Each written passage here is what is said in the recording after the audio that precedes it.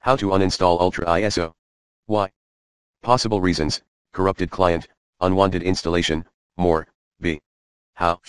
Solution number 1, perform the uninstallation process manually. Step 1, gain admin access, quit the unwanted software. Step 2, start the standard uninstall routine via control panel or Windows 10 settings.